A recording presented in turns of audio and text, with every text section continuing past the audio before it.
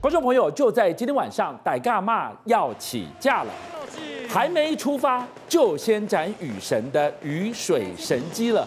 大家看到这几天的雨水，感受到了吗？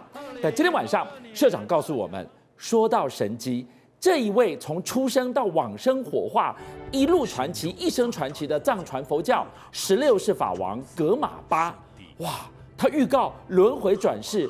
接棒他的人会跟他长得很像，没想到真的发生了，仿佛复刻他的五官跟身体一般，这个太神奇了。是，就像妈祖绕境，全民疯狂。为什么台湾的信众这么多喜爱妈祖呢？因为妈祖的显灵的神迹，大家都知道，很多大每一个人几乎可以讲个两三者都没没问题吧？是。那我们讲说神机，在台湾我们讲神机神机啊，其实在藏传佛教里面。他们叫大神通，大神大神通对，大神通不一定最上面那个神才会有，你高僧活佛啦，啊活佛也是一样，可以透过先天的传承跟后天的修行呢，变成大神通。那我今天要讲的这一位，电视上从来没有人讲过，叫第十六世法王可玛巴。对，第十六世法王可玛巴是一九二四年生的，一九八一往生。现在现在这一位法王是十七世，那这位十六世法王。他是有人问我说：“这个法王跟达赖喇嘛谁谁大谁高啊？有什么不同？”其实很简单的一句话：西藏佛教里面有不同的派别，不同。他是克己派的领领袖，达赖喇嘛是格鲁派的领袖，不同派系，但都是藏传佛教底下重视的东西也也不同。为什么这说这第十六世科马巴这个法王呢？他是有人封他为。西藏藏藏传佛教千古第一神通，一千年来，因为这个这个刚才讲克己派传承的一千一千多人，从十一世纪开始到现在，为什么第一神通？因为这个克己派他们就特别重视重视这个所谓修行神通大法，还有包括什么我们讲的这个大手印，嗯，哦，你看这位大圆满大手印，对，这个第十六世法王，对，你看他手比的大手印，另外。这这边呢这个影像比较模糊，就在修持修行神通的时候，他们手上必须拿一种东西。我今天特别带来的。哇，你带来这是什么法器？这是我收藏的一个古董，是，其实是西藏来的，嗯西藏来叫金刚杵。嗯，金刚杵它做的相当精致，这个有很有有点年代，这个要把它打开。是，外面这个其实像剑鞘的鞘一样。对，这边有三字明咒，然后你看这边，它这边打开像剑要要拔出来啊，你把它打开。这这一把那个明王杵其实是在这里面呢，是。啊，在这里面，你看，这就像你可以如果拿一下，你稍微拿一下，它重量很重，它它不是铜的，很沉呢，很沉，这个很沉，因为它这边这个明王杵底下旁边这三片铁啊，嗯，它不会生锈，它放越久还是一样乌乌黑光亮。这里西藏带回来的，对，它是那个天天铁做的，嗯哼，天铁做的，所以这他们的注重这种修行呢，所以需要这种明王瓷来护持跟加持。对，OK，那他如何说他是千古第一神通啊？我们讲他出生到老，他出生的时候啊，出生的时候，当时在刚才讲一九二四出生嘛，一九二四出生的时候，当时天呐，天有异象。我们讲说，一般活火转世的时候，有天有彩虹啊，那彩虹是基本的。他还有什么？还有天，当天是晴天，对，天空云里面呐，隐隐雷声作响。一直雷声，但没有下雨来。你看，还有当时很多信众啊，当时很多信众看到他出生的时候，天上降了一一个银梯，那个神梯的神梯是两条绳子，像一一个一个阶梯一个阶梯的，从云端就这么样下来下来。那这个银梯其实是什么？这是我们讲说一般人讲神梯，其实在藏传佛教里面，他他们叫贝叶经。他带贝叶经是古代西藏佛教藏传佛教里面他们那个佛经呐。用那个多贝多罗叶、贝多罗树的树叶下去写的。哦，这个树叶你看它没有打孔，用绳子穿过去，一拉起来一串，就其实是像这种神梯一样。等他带着佛经下下凡，要普度众生，要弘扬佛法的。好，这第一个。是。第二个，他母亲呢，帮他生下来的时候，其实这个孩子生生的时候，天天有异象，就觉得心里，嗯，这个孩子也有可能有佛缘。嗯。哦，后来要帮他洗澡的时候，他母亲放水，对，放水，结果那个水经过刚才那一个折腾，打雷打雷，彩虹看了以后，他的浴缸里面的水变成了变成牛奶，变牛奶啊！清澈的水怎么会变牛奶？对对，这是他出生的第一个传奇啊！清水变牛奶，不可思议。那我们说这出生嘛，然然后他如果第一功，我们讲说第一神通如果这样，那就不叫第一神通了。当时他后来过世，在一九八一，在在美国，美国过世，美国过世的时候，他送回印度西京火化。印度西，因为他一九五九逃出西藏，那在一一九八一的时候，在印印度西京火化，当时在延吉火化的时候，他的信徒跟弟子呢帮他盖了一个火塔，是。要火化他的大体，底下用了七层的那个木头啊，木头做成坛城，要火化嘛，对，结果一烧。烧它一起烧了七天七夜，嗯，好，神机第一个显现，比变成清水变变牛奶还厉害呢。当时烧的时候烧完了七天，都变成灰了嘛，对，变成灰。他的一个大弟子拿个两个盘子要去捡看有没有舍利子，舍利子。结果一靠近这个火灰的时候，很火灰里面好像有东西在跳动，砰砰砰砰，他一看不得了，心脏，法王的心脏没有烧化。心脏是很软的一块肉而已，哎，对，这个心脏其实在现在这个越南还有一个供奉的一个叫释广德和尚，当时自焚以后也是一样，留下一个慈悲心，心不化，还有眼睛跟舌头，舌头要红化，所以眼睛舌头也没化，这是第一个。火化之后呢，火化之后，他其实在火化之前还留留下一句遗言，说以后我转世呢，第十七世这个可马巴法王啊，你们会一看就知。一看就知，因为他是我的副科版。他说那个人会跟他长得很像。对，就后来找找到十七世法王嘛。那十七世法王坐床的时候大概十几岁，你看，这是第十六世法王的。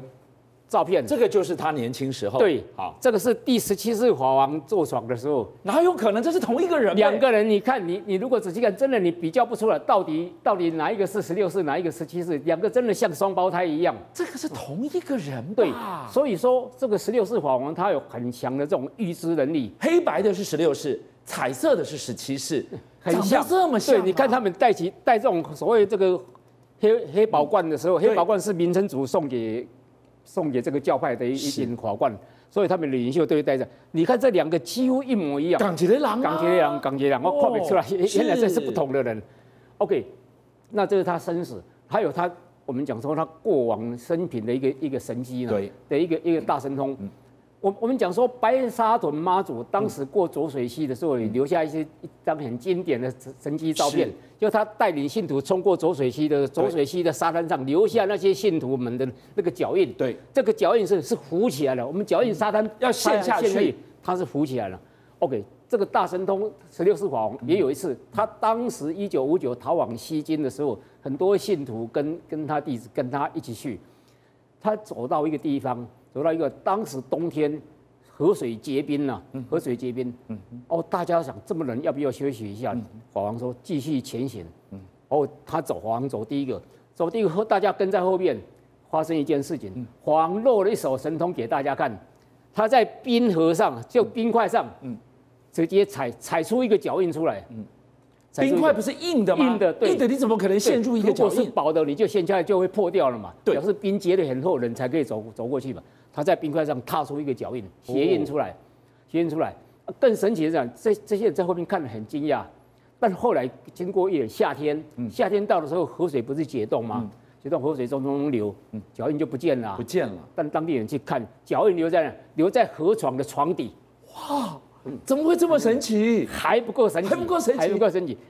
但第二年冬天，河边河边又结冰了，这个脚印继续浮上来，又在原地。另外，他还走到一个地方，有一个叫万蛇洞的一个地方，跟他弟子。当时到万蛇洞的时候，很多条蛇，千万条蛇直接从那个洞里面爬出来，向他们这边冲过来。是。当时弟子他们就拿拿个石头啊，拿拿棍子啊，准备要要看要对战，保护要保护这个这个法法王。对，结果这个法王十六世法王就跟他们讲。没有关系，你们不要动。他们是来朝拜我的。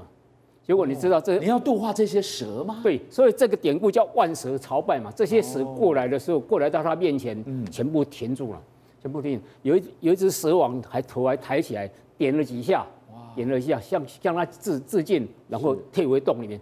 一有一千千万条蛇，整个回到洞里面去。连他们都有佛性啊！对，所以他的司机里面有很多啊，包括他还有。一次在他在西京的时候，西藏的弟子来来找他，说我们西藏最近流行一种病，就脸上小孩子跟大人脸上会长那个疮，嗯，呃，会流脓疮，脓疮。那个法王跟他讲说，没关系，你就带我一样东西回去，叫他们插在脸上。他有药吗？什么东西？尿，他的尿液。用法王的尿？尿液，对。不会吧？尿液，你知道尿液从西从西京带回西藏，啊，隔很多天了，发臭了，发臭。所以当时小孩子不擦，小孩子听闻到那味道都吐了，吐了，而且不相信这种尿液可以治病，太脏了吧？结果这些他们说大人们信信仰这个法王的，你们先用，结果大人擦看看，全部都擦好了，不好。所以他有很多我们觉得尿液又发臭的东西，怎么可以治病？他就是有办法。是。另外还有一个，他抑制功能非常强。当时他在西京的时候，他一个司机啊，一个司机跟他讲，说他。说他想转行，嗯，想想转行，嗯，然后这个法法王说：“我知道你想干什么，你心里面想的这件事，你千万不要去做。”他什么没说哎，因为他觉得司机做新司机太辛苦，那这个司机想去当小偷，去偷东西，去偷东西。他不讲呢，不讲嘿，然后你千万不要做，这个做会害你做这件事会害了你的性命。结果这个小偷不听，结果真的。辞掉他的司机，又跑进来，跑去神那个神庙里面去偷神像，嗯，哦，被抓到，抓到，你要印度是宗教信仰很高的地方，送到那个监狱里面关，禁不住苦苦楚，死掉了，死在狱中。这是他第一个预言。第二个，我说他有预知能力是，当时还有他一个朋友，一个弟子是开直升机的，是机师，开直升机，对，哦，也觉得开直升机也很危险，那就跟法王问说，我我想转行。你看怎么样？华王跟他讲可以，三个月以内赶快离开。嗯，三个月一定要要走。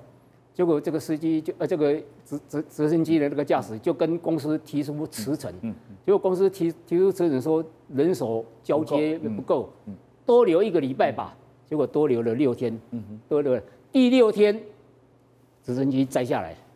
法王跟他讲得很清楚，三个月一定要走，要不然你会出事。就像很多人会问我说：“这个神通啊，神机到底真的有没有？”我举一张照片给大家看，这个是华古山创办人圣言。圣言对，一九九八去跟达赖喇嘛对谈，对对谈之后呢，很多信众在底下听，问出一个很很大家很关心的问题。